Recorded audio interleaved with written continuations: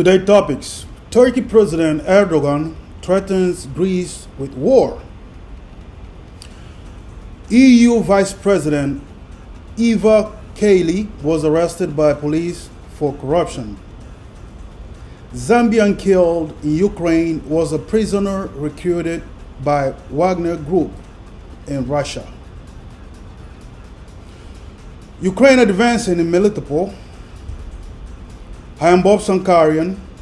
Subscribe to this channel to incentivize us to keep bringing top quality geopolitical news update across the world to you and I will make sure you enjoy every second of the time you spend with me in my show. Thanks for watching. Turkey's President Recep Erdogan threatens Greece with war. He says the Greece government is scared because now they have a missile capable of reaching Athens. Athens is Greece's capital. And Greece respond by saying that Erdogan is like Kim Jong-un from North Korea. Turkey developed a new ballistic missile, which they named Typhoon, um, capable of reaching the capital of Greece, Athens. And Erdogan says in his, um, in his own word, quoting, the Greek says he can hit Athens, Erdogan says. Of course it will. If you don't stay calm, if you try to buy things from the United States and other places to harm uh, the island, a country like Turkey has to do something. And Greece has been putting um, heavy weapons on the Aegean Islands, which uh, angers Turkey, of course. And the month of October, Turkey engineers test fire short-range ballistic missiles over their Black Sea border. And the missile nicknamed Typhoon can reach a target of 561 kilometers, which is 349 miles, in a matter of 7.6 minutes. It's two times faster than the current missile in Turkey's arsenal. Bora missile is the second faster missile in their arsenal. So recently, Turkey is investing in a huge effort to build up domestic defense products.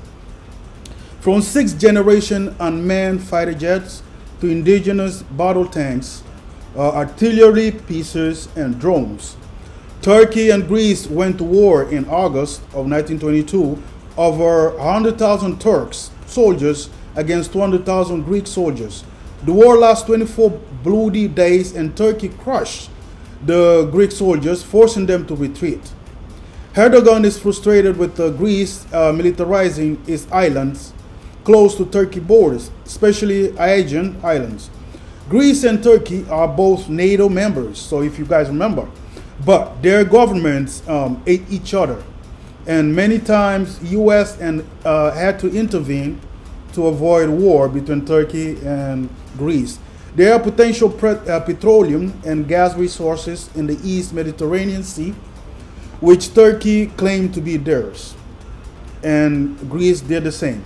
And last week, Tur Turkey's foreign minister uh, warned Greece to withdraw military equipment from Aegean Islands or face consequences.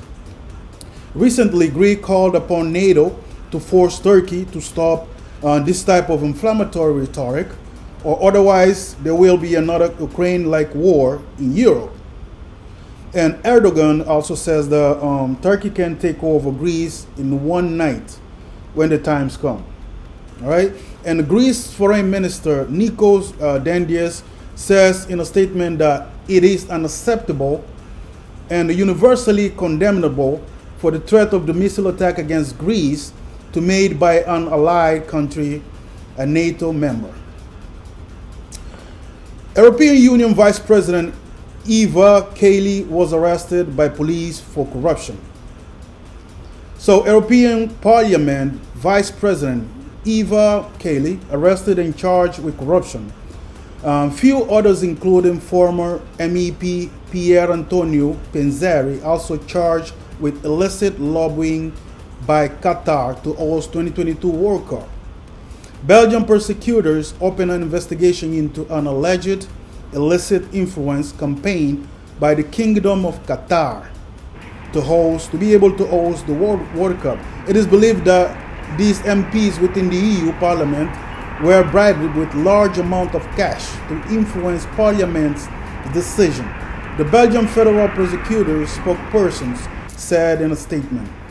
Well, let's see what's gonna happen uh, with this case. If they are going to, to be found guilty or let go free to keep doing what they do best, which is stealing from and killing citizens from developing countries across the world. That's what they do the best. Zambian killed in Ukraine was a prisoner recruited by Wagner Group in, in Russian prison. Lemek Hani Nierenda agreed to join the Russian invasion of Ukraine in exchange for amnesty or freedom. The imprisoned Zambian student in Russia had been pardoned for drug trafficking charge when he decided to join uh, the clash in Ukraine. He was killed on the front line and fighting, fighting for Russian army. Zambia's foreign minister, um, Stanley Kakubo, says that he was informed by his Russian counterpart, Sergei Lavrov, that Lemekhani Nyirenda received um, pardon on August 23rd and taken to the front lines of Luhansk and to fight Ukrainian army. I'm Bob Sankarian. Thanks for watching. Do not forget to subscribe hit the like button and share. Have a nice day. Bye bye.